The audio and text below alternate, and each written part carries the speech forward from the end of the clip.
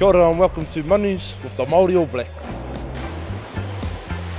Today, us boys are going to have a bit of fun, have a bit of recovery in the pool, um, chuck out a bit of manu, some staples, um, and just uh, enjoy each other's company in the water, eh? So, trick to a good manu is having a good pop and a good sound, um, not slapping your back, um, which I've done a couple of times. I think I did one today.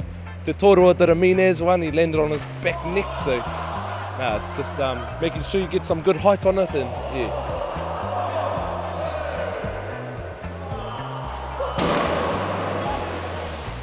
There's a, there's a couple because it's a Māori team, you know, all the Māoris know how to bomb. But um, I'd say old Jordan Manihera actually gave me a bit of a surprise. He did a mean one.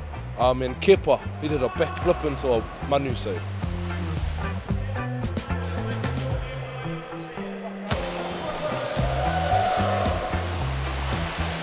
To wear Speedos today. It's compulsory in France to wear Speedos in the pool. Um, actually, my first time in Speedos since I was probably like three. So it's a bit, bit hard for me and a couple other bros, but hey, it is what it is, and um, we just enjoy the experience. Well, everyone else got swimming caps. I just used my Māori ingenuity and uh, got my beanie and wore my beanie instead of a swimming cap because our, our dreadlocks are a bit too long, eh? So, check.